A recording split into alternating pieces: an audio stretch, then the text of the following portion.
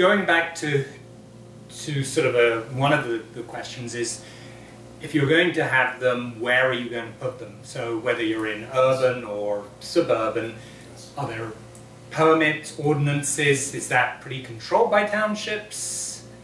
Absolutely. I've checked, uh, since we just uh, talked about doing this, I looked at, at the Berwyn and, and Easttown Township regulations, and there's nothing that I could find.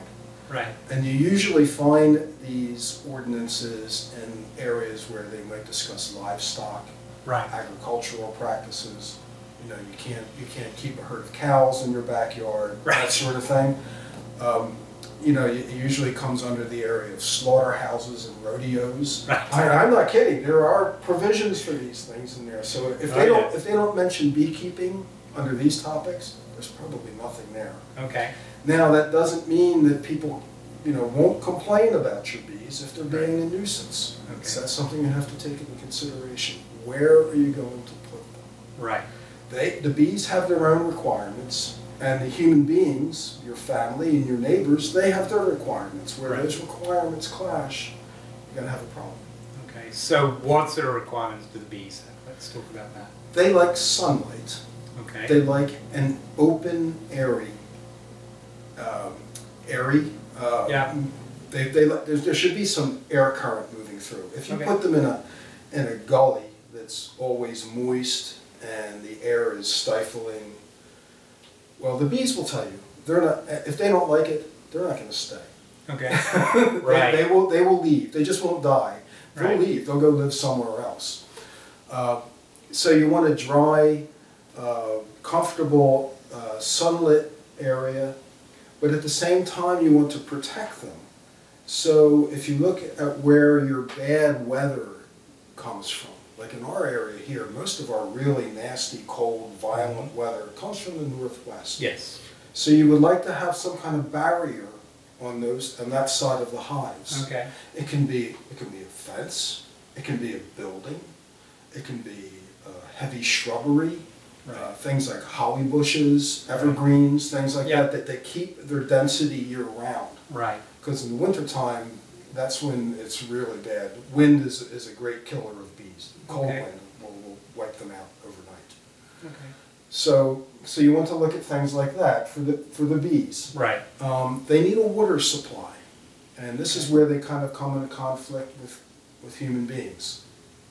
They will drink from a swimming pool, even Okay. one with, that's been treated for, with chemicals. Right. They will take over a bird bath. Okay. Um, and uh, so if you don't have a natural water source for them to go to, they'll find water, and Right. they don't care where it's coming from. Okay. Um, so you may have to supply them with water. Where I live, I have to put water out for them.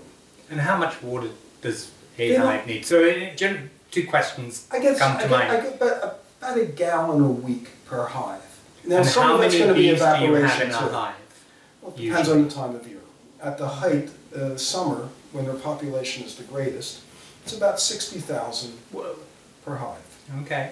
Uh, they're not all out at the same time. Usually Right. only about a third of them are out actually foraging for water and pollen and nectar and that sort of stuff. Right. Um, so I guess at any one time for, for the four that I have in an area right now, that's at the max, it's a quarter of a million, I guess. Yeah. Sounds phenomenal. Sometimes it seems more than that.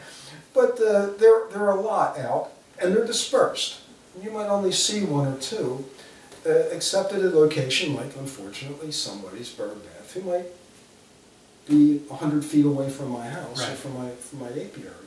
Right. And, and they will, they will gather at that, and if a bird comes to use it, they'll react defensively, the bees will react, Right. react defensively and drive the bird away.